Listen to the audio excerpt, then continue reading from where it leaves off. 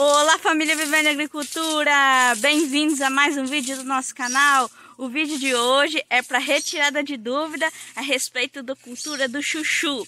Nossos seguidores nos enviaram perguntando por que o chuchu ele cai e não vinga na propriedade deles. Então vamos estar tá direcionando aqui umas possíveis causas e como tá resolvendo esse problema, beleza pessoal?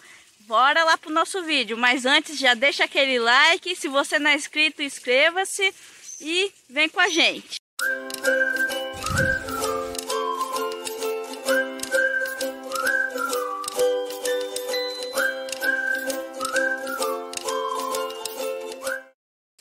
Então, pessoal, se vocês desejam produzir o chuchu na sua propriedade, vocês têm que ficar atento a algumas questões, como, por exemplo, a temperatura, que o ideal é que se encontra em torno de 10 a 28 graus Celsius.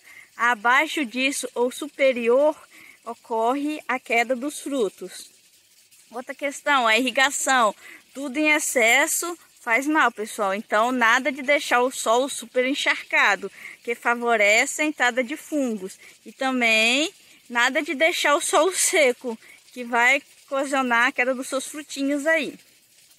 É, é importante também evitar a variação brusca de temperatura no solo. Para isso, a gente adota a cobertura morta, para evitar essa variação. O pH, quando ele se encontra abaixo de 5, ele dificulta a entrada de nutrientes na planta. Então, isso daí é muito prejudicial. Com certeza vai interferir na sua produção também. O excesso de nitrogênio ou a deficiência de cálcio e zinco. Quando o nitrogênio encontra-se em excesso, pessoal, vai cair seus frutos. A deficiência também de cálcio e zinco vai faltar nutriente para os seus frutinhos, é, vai cair.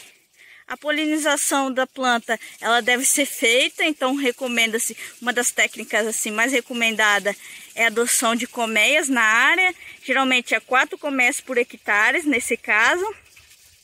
E o excesso de chuva, é, então é recomendado você seguir o calendário de plantio para evitar que coincida a época da sua produção com a época muito chuvosa e isso vai favorecer a queda dos seus frutos. Beleza, pessoal? Espero ter ajudado. E um grande abraço, até o próximo vídeo.